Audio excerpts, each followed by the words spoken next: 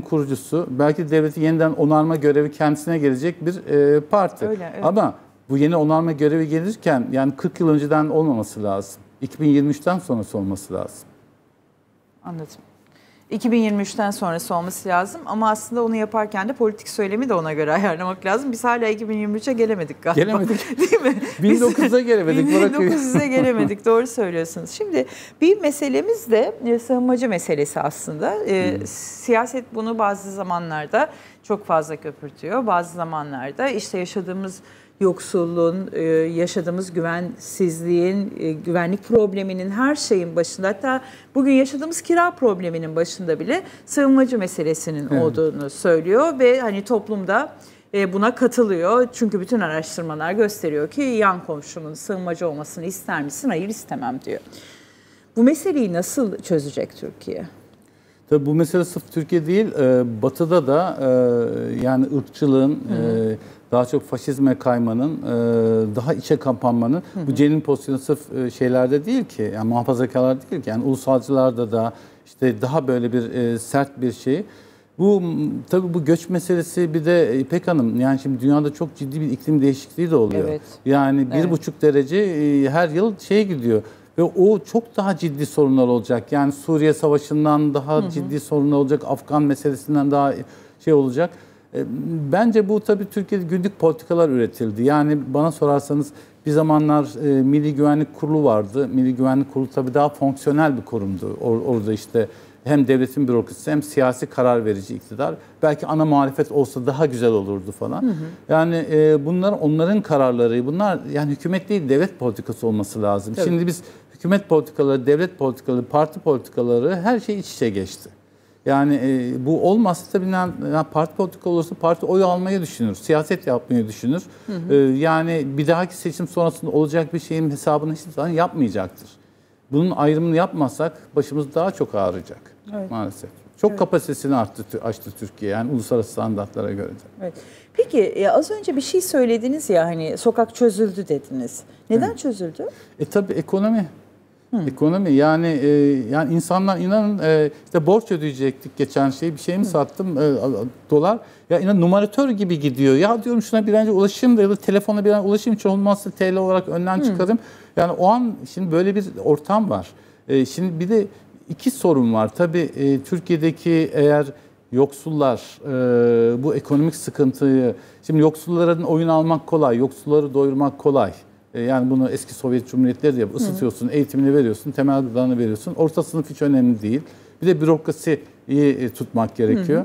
Şimdi Türkiye'deki e, yoksullar ve bürokrasi normal süreçleri doğru okuyabilirlerse yani şey açısından e, Türkiye normal seçime daha rahat gidebilir ve e, normal sonuçları alabilir. Ama yoksullar ve bürokrasi burada belirleyici olacak diye düşünüyorum. Peki bürokrasinin 20 yılda e, bambaşka bir dönüşüm yaşadığını düşünür müsünüz? E tabii yani sonuçta bürokrasi... Bir bürokrasi geleneği var Türkiye'nin ama 20 yıllık da bir iktidar var yani. Yani tabii şimdi şöyle yani bürokrasi sonuç olarak si- siciline bakar. Yani izin alırken ya da hafta sonu işte tatile kaçarken bile amirinin kapıda beklersiniz. Nasıl e, keyfi uygun zamanda bir izin mi alayım derseniz. E, siciline bakar, terfi için ona bakar. İkincisi e, alacağı kararlarla ilgili mahkeme, soruşturma ondan çok ürker. Yani şimdi tabii mahkeme ve soruşturma dediğiniz zaman anayasa ve anayasal süreçler söz konusu Yani oluyor. Kılıçdaroğlu'nun bürokratlara uyarısı bu anlamda Onu yapmaya çalışıyor. evet. doğru bir uyarı mı? Hani E tabii yani e, ya kim olursa olsun, yani kim olursa olsun uyarı kanunlara uymak zorunda. Yani kanunlar e, bizi bir arada tutan şey. Ortak değerler, kurallar baktığınız zaman. Yani bürokrasi kurallar konusunda, yargı kurallar konusunda e, en azından e, sorumluluğu hissederse e, anormal şeyler olmaz diye düşünüyorum. Evet. Mesela dün akşamki açıklama saat 22 oturduk hepimiz bekledik ki saat 22 olmasını. Ee, Sayın Kılıçdaroğlu anlattı. Ee, arkasından çok ciddi olarak bir e, ben e, başka bir kanala geçtim. Hani hükümete yakın bir e, kanala geçtim. O kanalda üst üste e, bütün e, kurmaylar e, işte bunun açıklamasını yapmaya çalışıyorlardı. Ben hiç bu kadar e, ciddiye alınıp bu kadar e, üst üste kurmayın açıklama yaptığını görmemiştim açıkçası. Tabii hep aynı yere bağlanıyor. FETÖ belgeleri e, deniyor. Bu hani en kolay yöntem. E, bununla ilgili ne düşünüyorsunuz? Siz izleyebildiniz Vallahi mi? kısmen akşam? izledim. Yoldaydım. Ee, biraz espri yapalım. Şimdi muhtemelen hazırlanmışlardır. İşte demeçler falan, sosyal medyada falan e, şeyler. En sonunda demişler ya boşu boşuna o kadar enerji sarf ettik. o kadar yapmasaydı diye. Yani tabii bunlar yapılması lazım ama e, yani toplumsal etkiyi umulan kadarıyla et- gösterdiğini düşünmüyorum. Öyle mi? Yani- Yani şöyle e, geçmişe yönelik yani ya gelecekteki bir takım yol haritalarına bir şey e, teşkil edebilir, e, iz teşkil edebilir ama yani e, işte Watergate gibi falan e, bir şey olmaz yani. Yani Türkiye çünkü buna benzer süreçleri çok yaşadı. Zaten toplum e, yani siyasetin e, finansmanı ve siyaseti yolculuğu toplum satın almış durumda. Sadece bu ipin ucunun Kabul kendine bunu tabii kend- kendine gelip gelmemesi konusunda.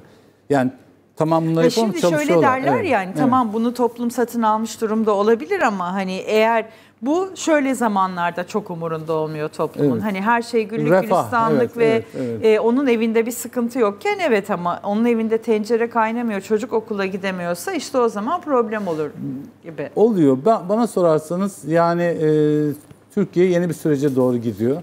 Mühim olan bu sürece normal gitmesi lazım. E, yani bir de şöyle bir kaygı var. Maalesef Türkiye'deki cezaevleri devrimlik sistemi çalışıyor. Yani sıra bize gelecek kaygısını yaşayan, yaşayan kim olursa olsun sertleşecektir. E, yani burada bir e, bir anayasal, bir siyasi bir af, yeni bir başlangıç belki tartışılması lazım. Biraz E, açar mısınız ne demek yani şöyle, e, şimdi Türkiye'nin e, 2023'te za- göstermelikti ama gerçek bir yani siyasi düşüncelere, siyasi hareket yapanlar için ayırt etmek için çok güçlü bir afla, e, hatta ben geçen bir televizyon kanalı İsmail Küçükkaya da söylemiştim. E, o da okumuştu onu. E, Cumhur İttifakı değil, bir ara Sayın Erdoğan Türkiye İttifakı diye okumuştu.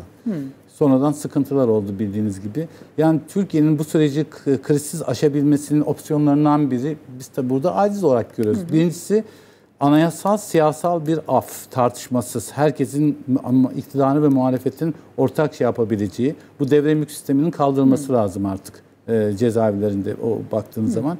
İkincisi ise e, Cumhur İttifakı değil bir Türkiye İttifakı ve herkesin ortak olacağı bir, bir anayasal e, yeni bir anayasayla beraber 2023'e e, başlamak. Yani bunun konsensüsü bir defa bu sistem gitmez hiçbir şekilde. Yani bu sistemden zaten ülke yönetilemiyor. Bırakın yani iyi niyetli de olsanız yönetemezsiniz. Onun için ben her Bu zaman sistem dediğiniz Cumhurbaşkanlığı Tabii hükümet yani bu, bu, bu sistem bu sistem çalışmıyor. Bu çok açık. Hem e, yeni çözümlere imkan vermiyor. Bu, bu sistem aslında kim olursa olsun çalışmazdı değil Çalışmaz. mi? Bir de tabii, e, şöyle kaygım var. Yani her zaman diyorum Türkiye'de bir yeni bir neo Erdoğanizm dönemi e, ne ihtiyaç yok. Yani işte popüler halk tarafından desteklenen belediye başkanları kendi zenginlerini yaratacaklar. Yeni danışmanlar çıkacak. Sağa sola talimat verecekler falan. Ya bu o dönemde o kadar kötü değil. Şimdi daha kötü e, mesajlar geliyor. Yani bu Türkiye'nin e, sistem ve zihniyet değişikliği ve ilişki yöntemi değişikliğine ihtiyacı var. Yoksa insanları değiştirmenin ne anlamı var ki bu saatten Post sonra? Erdoğan dönemi diyorsunuz. Tabii post Öyle mi? Erdoğan, post Hamidizm diyorum, post Kemalizm diyorum, post Öz- Özalizm diyorum ama bunlardan doğru deneyimlerini elde ederek yeni bir başlangıç. Yeni. Yeni bir başlangıç. Yani yeni bir başlangıçta bir kırmızı çizgi olmalı mı? E tabii canım Nedir kırmızı- insanların kendi aralarındaki ilişkilerde bile e, mesafeler ve limitler olması lazım. Tabii yani bir, bir ülkenin e, hayatiyetiyle ilgili, kişisel, bireysel haklarla ilgili e, çeken balans dediğim yani bir kişinin olmayacağı e, yani tamam Abdülhamit çok başarılı bir insandı. Liderdi. Kavgaları, a- a- şeyler vardı. Yolsuzluğa bulaşıyordu. Eğitim yaptı falan filan. Ya da işte e, devamı bir insanın denetleyemediği bir sistem ya da bir eylemin denetlenemediği, bağımsız kurumlarca denetleyemediği ve kurumların olmadığı, kurumlar bir defa olacak, hukuk olacak, denetleyecek karşılıklı. Kimse kimsenin insafına kalmak zorunda değil. Padişahlıkta bile bunlar yoktu. Denetim en önemli Denetim mekanizma çok önemli, zaten. evet. Bu anlamda güçlendirilmiş parlamenter sistem çalışmasını inceleyebildiniz mi? Ya bak- Denetim mesela orada önemli bir faktör. Var iyi bir çalışma. İyi bir çalışma ama yani toplum onu satın almadı popüler tabiriyle. Öyle bir sıkıntı var. Çok teşekkür Rica ediyorum ederim, ben Tarık teşekkür Bey ederim. e, katıldığınız için. Sayın seyirciler, Kadraj'ın ilk bölümü burada sona eriyor. İkinci bölümde konuklarım olacak yine. E, önce Sayın e, Kemal Kılıçdaroğlu'nun dün gece 22'de yaptığı açıklamada e, işaret ettiği, ifade etmediği ama işaret ettiği Türken Vakfı'na gideceğiz. E, Amerika'nın sesinden sevgili me- meslektaşım e, Mehmet Sümer şu anda New York'ta çok konuşulan Türken Vakfı'nın önünde saat 17'de ona bağlanacağız. E, ve onunla birlikte diğer bir konum Cumhuriyet Halk Partisi Genel Başkan Yardımcısı Sayın Ali Öztunç olacak. E, bu gel- gelişmeleri bir